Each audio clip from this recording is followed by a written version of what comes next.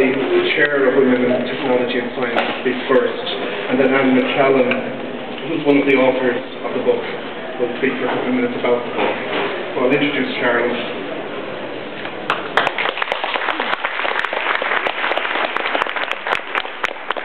Thank you.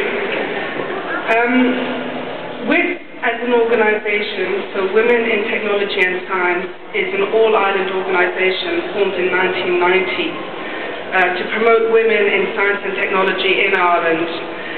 Um, we are a voluntary organisation, which means that all our members uh, give a lot of time and support um, during their, their few hours that they have free during the week, as most of them are generally quite busy people.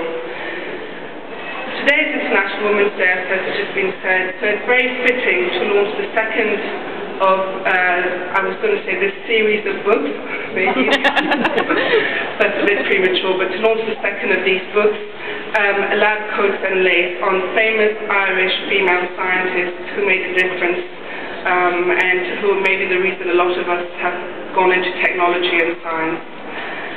Lab Coats and Lace is the second book, as has just been said, by Wit.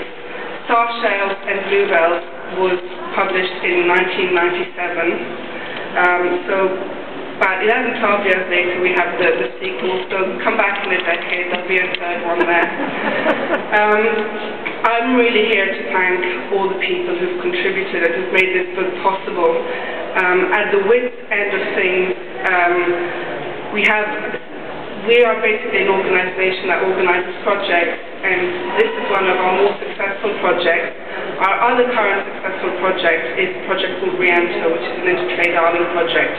Visit our website for more information.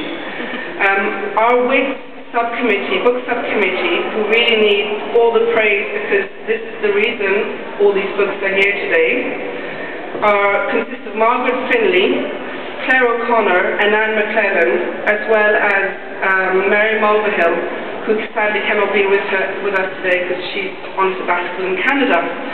Um, but Mary has, public, has edited this book as she did the last book. So basically, without these people, um, this book wouldn't have happened within budget and on time. Also, we need to thank some of the contributing authors who are in the room today, such as Dervla Donnelly, um, our funding agencies Discover Science and Engineering, the Department of Education and Science, as well as support from the Institute of Physics and Biotrin. Um, lastly, the, the person who's really made everything come together, Anne Fitzpatrick, who's busy taking photographs uh, somewhere in the room, for making sure that everything happened on cue, on time, getting the books from one place to the other, um, and really coordinating things. So uh, thank you all for coming. I'll now leave the floor to Anne McClellan, who will talk a bit more about the book and um, the people the book's about. Thank you very much.